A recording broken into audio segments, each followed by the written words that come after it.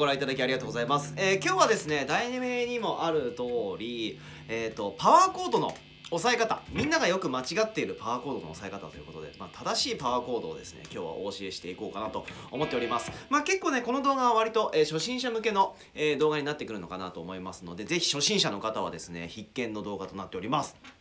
えっと、まあ、ギターでね、えーパワーコードみんながよく知ってます。この6弦と5弦だけあとは5弦と4弦だけで弾ける。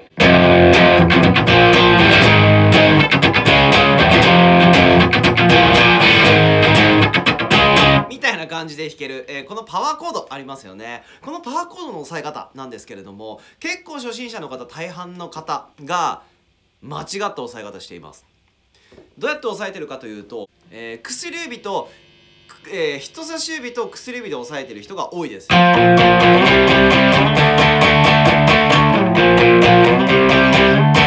ういう感じね。これだとね実はあまり良くないというかまあ僕の意見なんですけれども僕の意見としてはあんまりよろしくないかなっていうふうに思ってます。なんで良くないかっていうと、まあ、僕はねどうやって押さえてるかというとであとは僕のレッスンではどうやって教えているかというと人差し指と小指で押さえるように進めています。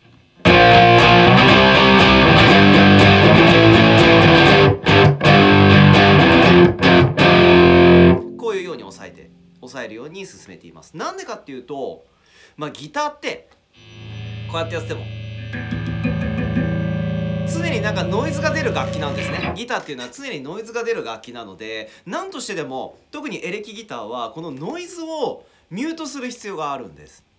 で、えーミュートをするって言ったらどうすればいいのかっていうと簡単な話手でこうやって押さえてあげると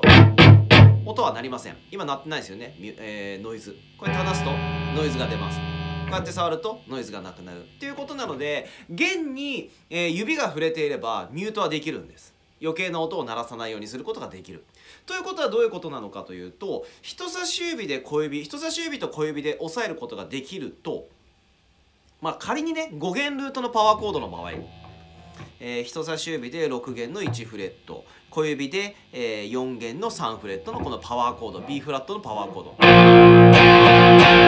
ド。弾く場合これ6弦弾いちゃいけないんですよね本来。6弦弾いちゃうとはい気持ち悪いこういう音になってしまいます。なので本来弾く場合っていうのは6弦をミュートする必要がある。でそうしたらどうしたらいいかいいかというと中指とこの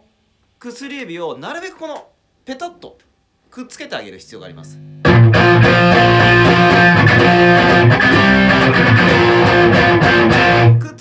ことによって6弦をミュートできるんですね。小指と薬指で。ミュートができます。なので大きい、まあ、特にライブで大きい振り。と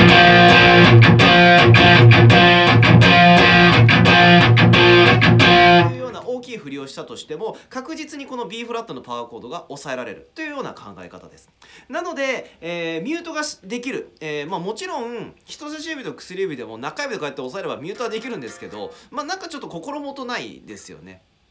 なんか若干なんかあの足りないというか中指だけで本当にミュートできるのか？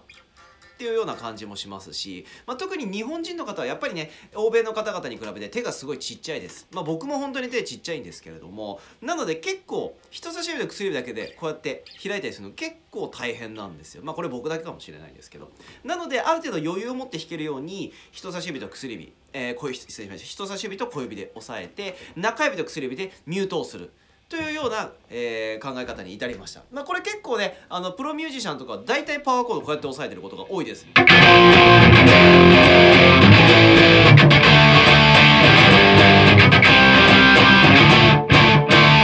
ういう風にするとやっぱ余分な弦がミュートできるんですね。こうやって押さえることによって。ミュートができるので、えー僕は人差し指と小指で、えー押さえることをおすすめしております。なので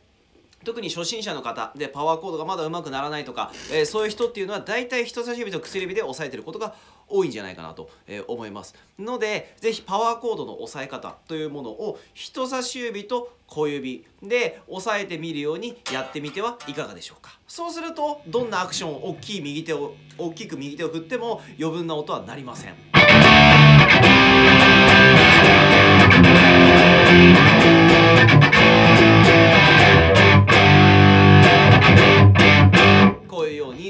音をしっかり出すことができるしミュートもできるというような考え方です。なのでまずは人差し指と小指。でパワーコードを押さえるようにやってみましょう。ということで、えー、今日はワンポイントレッスンということでパワーコードの押さえ方の、えー、レッスン動画でした。少しでも、えー、役に立ったと思ったら高評価の方お願いします。あとはチャンネル登録もぜひお待ちしております。よろしくお願いします。今日も動画をご覧いただきありがとうございました。